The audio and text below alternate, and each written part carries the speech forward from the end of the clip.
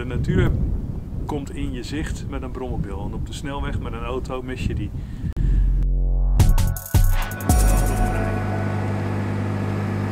Mijn naam is Leendert van Gemeren. Uh, ik woon in Amersfoort. Ik ben 53 jaar. Ik heb een uh, hele leuke hobby en dat is kronkelroutes. Ik maak uh, routes voor senioren en trouwens ook voor jongeren die met hun brommobiel van A naar B willen. zonder op de snelweg of de autoweg te komen.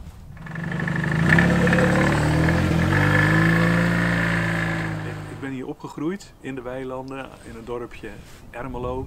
Ik reed hier in Amersfoort naar school met de fiets vroeger. Het is een stukje nostalgie. Je rijdt langzamer, net als vroeger.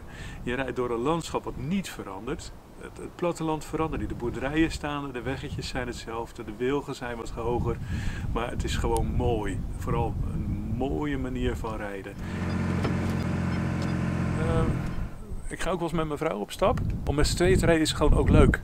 Vooral de lange einden. Uh, ik, ik rijd niet graag heel lang alleen. En als ik een kronkelroute plan, dan plan ik er altijd iemand bij die naast me zit.